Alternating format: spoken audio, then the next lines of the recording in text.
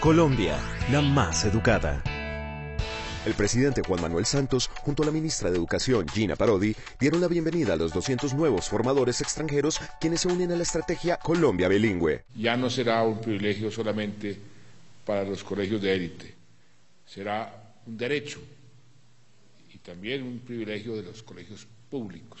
El programa busca que estudiantes de noveno, décimo y once logren comunicarse efectivamente en inglés. Estados Unidos, Inglaterra, Canadá, Australia y Nueva Zelanda son algunos de los países de donde provienen los 350 formadores extranjeros que hacen parte de la estrategia de la que también se beneficiarán 35 miembros del programa Soldados Heridos en Combate. www.mineducacion.gov.co Estamos haciendo de Colombia la más educada.